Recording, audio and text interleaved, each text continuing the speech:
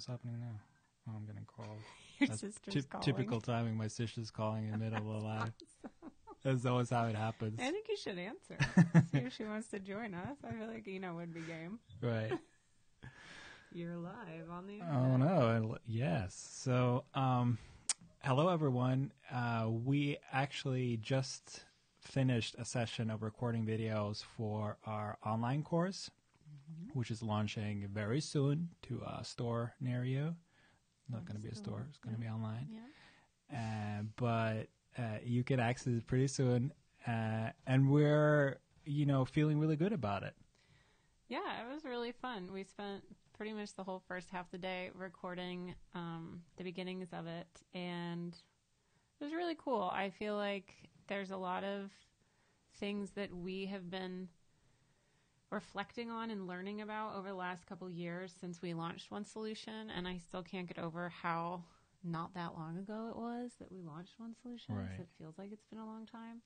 But I think we've learned so much from um, the initial spark of the idea to the conferences we've had to then launching the nonprofit and the different projects that we've been doing in different parts of the world um, that have really led to us deciding that we really wanted to do this online course because I feel like um, now more than ever, and maybe it's just because I'm looking in this direction, but I don't.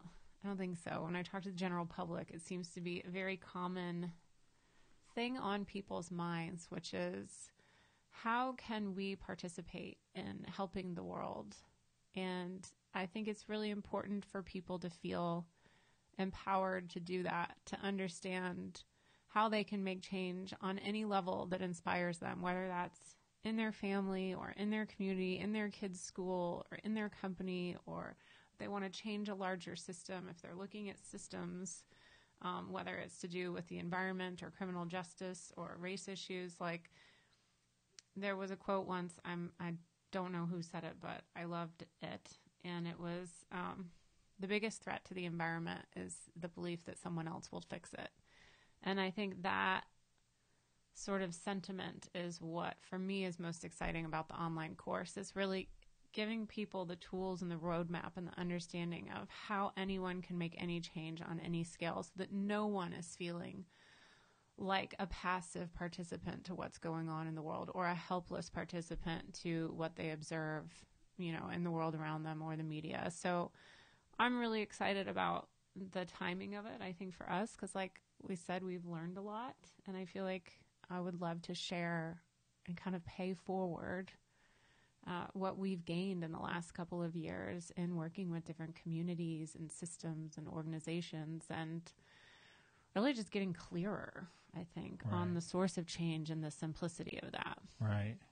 And for for for the those of you who are watching, like you might be watching us just because you like following along, you like like what we're doing, and you want to support it, or you are also one of those who kind of like, oh, I want to make my own change in my own way, Mm-hmm. and we're really excited about like how simple that is compared to what we think it is.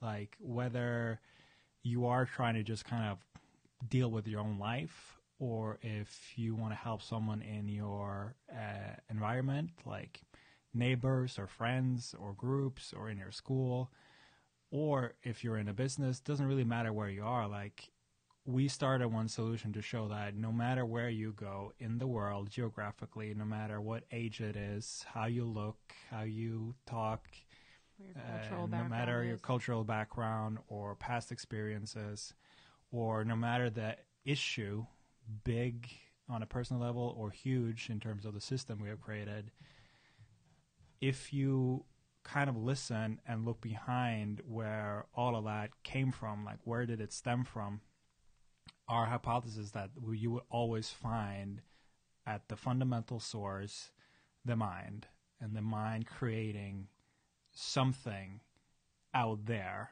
that we then have to try to fix. Um, and it's really tempting to then be very distracted by the stuff we have created with our minds and, and try to fix it out there rather than looking at all those things actually come from the same place. and if you go to that same place, all those things will start to move and change uh, together rather than a separate thing. So it's kind of uniting everything and seeing that is all interconnected in a way. Mm-hmm.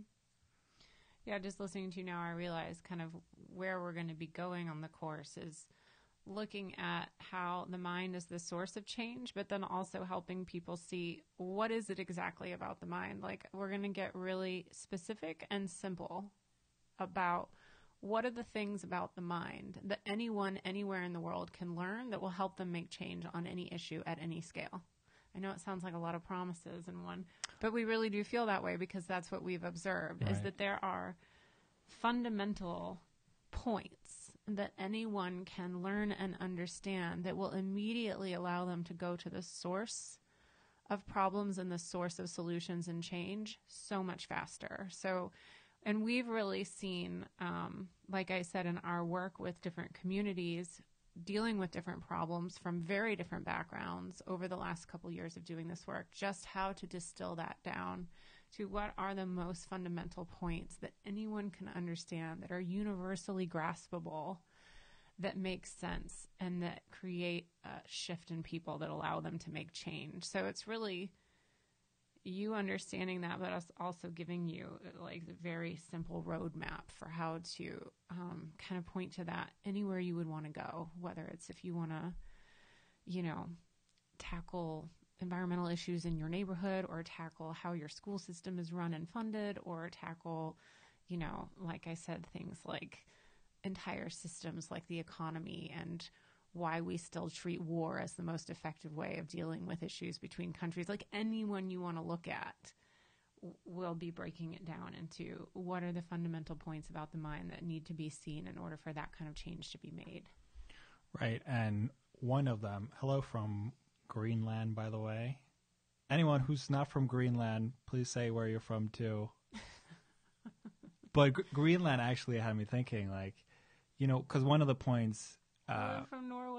Oh, from Norway. Hey, Annette, how you oh, doing? Norwegian in oh, Denmark. in Denmark. Okay. Nice to meet you. So we have a Norwegian in Chicago here. Exactly. Norwegians and apparently don't want to stay in Norway. Yeah. uh, but um, one of the points that we talk about in this course, but also in general wherever we go, is the idea that humans are born with certain things uh, as a as a default. Like we, we use the word innate a lot. Like resilience, for example, is one of those things that we are taught. Maybe certain people have, uh, or it's a, um, a quality that you train, or it's contingent or certain external factors. For example, if you had a certain past, you will be resilient. If you had a different past, you wouldn't be resilient uh, or uh, genetics, wh- wherever it must be. the right be, kind of parenting, the right kind mentoring, of parenting, like yeah. all these reasons that we say you need to have or you need to work on in order to be resilient. And one of the things that we teach everywhere is like is the idea that resilience is, is innate to human life. That it's it's not something that is manufactured. It's not something that we go out and make happen. If you look at any humans, you would see a resilience. You would see someone being able to grow, uh, go over things, uh, evolve, uh, find new paths within their minds. It's just that with the way the world is set up, we have trained ourselves to look at what's not resilient. We've looked at what's uh, kind of always moving. We've looked at kind of like our own psyche and, and things that should be something wrong with rather than what is actually before that that there's nothing wrong with. Mm. And when we you know go to Greenland and you look at all the humans there, you would see every human is born with, with that with resilience. Yeah. And every, you know, in all the places we go to work, you know, here in Chicago or it's Middle East or with, with you know, when we went to visit the uh, prisons in Portland with the IOS Collective, with the schools in Tampa and Florida, then it it's all the same thing and all the kids and everyone say like i didn't know i already had this inside of me I thought some, you know, something was wrong with me. I didn't think I was resilient. I didn't think I had this kind of health really within me. I was I was thought there was something wrong with me. I was mentally ill. I didn't have mental health. Mental health was something that I was striving for, but it wasn't already within me. And if you have a society or a group of people or a world who thinks that their well-being and their resilience and all their feelings are dependent on external factors, there's no of course we're running around doing all kinds of stuff in order to cope with that because like that's a that's a horrible feeling to to not have what you need already inside. Then you would like look outside to external things maybe material things or relationships or drugs or try to f- get more security by doing certain things or growing or whatever it is at any level you will see that if you don't feel like you already have everything you need uh, in a, in an innate way, we will go out and look for it, and that is like a very basic point that is so simple, but you can see the effects. If people don't feel like they have it, we want to go out and get it, and the way we go out and get it usually isn't very healthy. It doesn't help us, and it doesn't help society and that's why we we have a lot of problems in the world that that stems from this pure idea that what we have is not we don't have access to it here you have to go out and do something you have to buy something you have to be something you you cannot just be okay where you are mm-hmm. and that is a journey that leads down to wars and pain and suffering and uh, us versus them dynamics it's just a quest that, that I don't know how, how why we did that, but it is a misunderstanding that is so everywhere. So uh, I know I'm rambling now, but it's like that simple point is so profound, and it helps so many people, and it's at the source of what's actually can make change. So that's only one of the points that we were discussing. I know. I was just thinking that's only one of the modules in the course. Well, you can talk about it forever because it's so. Right. It, it affects everything. Right.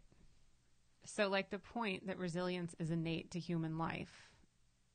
If you walk into any system and start with that as the foundation, it automatically creates something solid on which people can stand and build upon. And what you can see in what Eirik just explained and talked out is that because that isn't our come from, our foundation as humanity currently, every single system that humans create is built on top of insecurity, which is like quicksand, you know? So you look at the financial repercussions of what you said right. is that you are not okay without a certain amount of wealth or without a certain amount of financial control over other people or you know and right.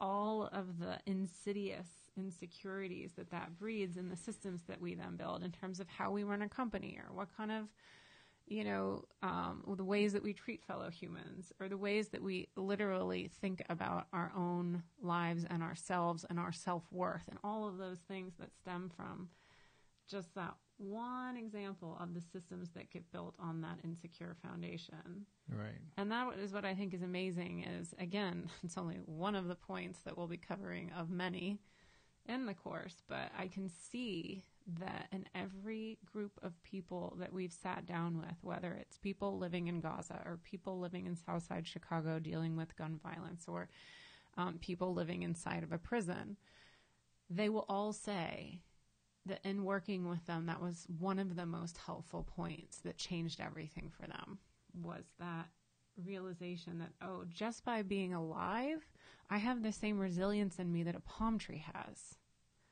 that life is designed to be able to bounce back and yet no one's ever told me that or I've never felt that way and they could see how that misunderstanding rippled out and limited them in life right. or led them to do certain things that were making things harder for them and and yet get, the second they're given the opportunity they realize of course right I can see so many examples where I have survived and come through things stronger than I ever would have thought was possible. And right. how did I do that? Well, I did it because I am alive. This is innate to human life. I have resilience. So does everyone.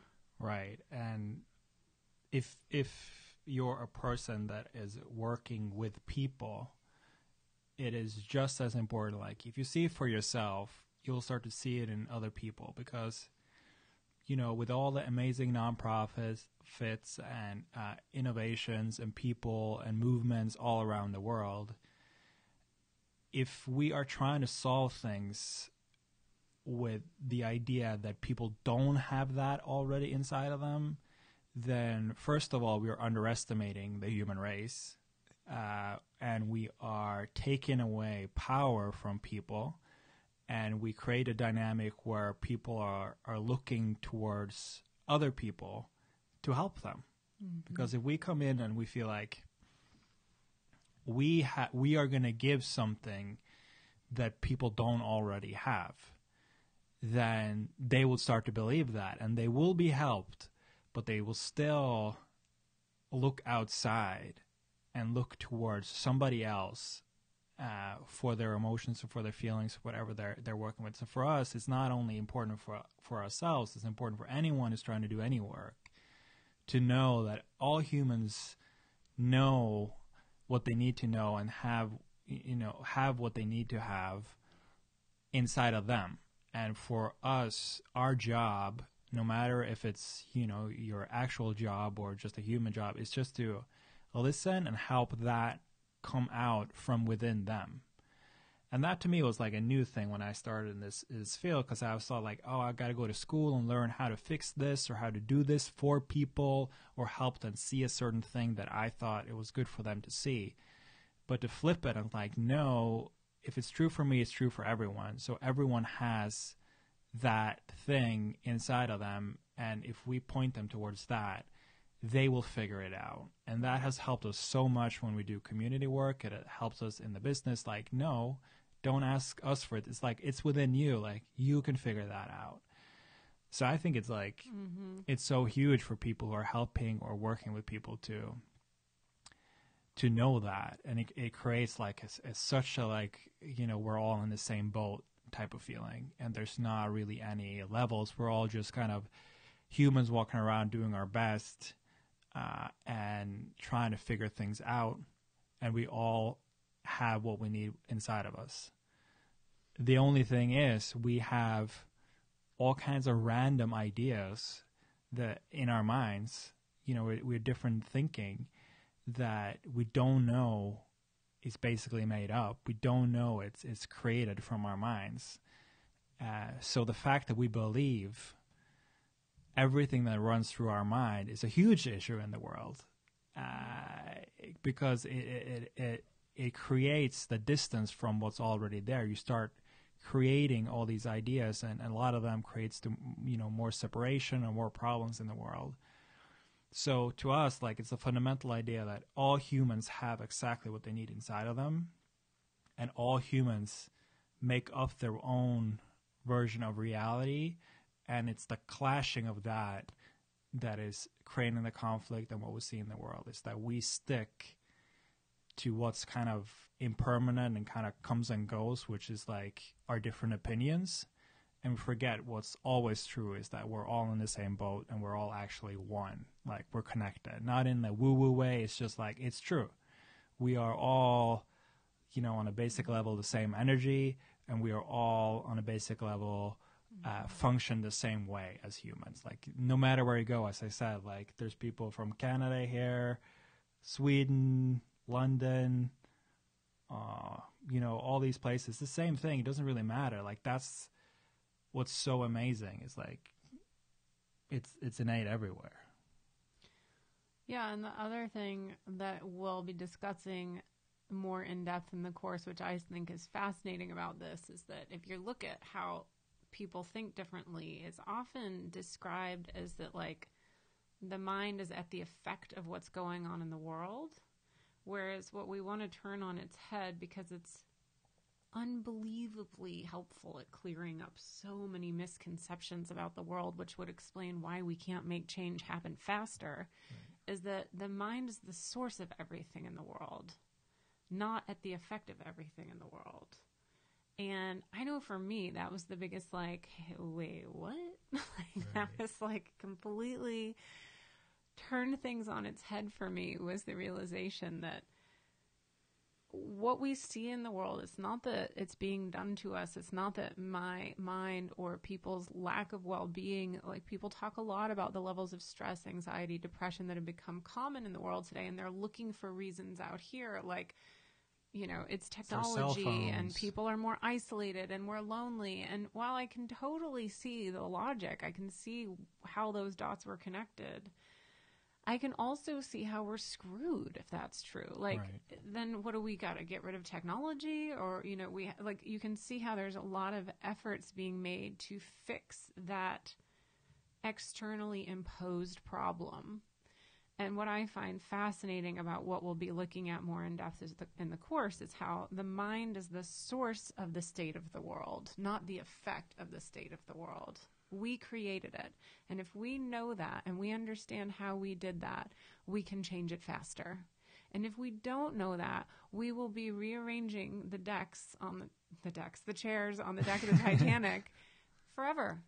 And and you'll see that kind of that is that is kind of been our habit for a long time is looking at, you know, sort of whatever is the issue du jour and trying to tackle that thing as if the issue is somehow outside of people being done to them. Right.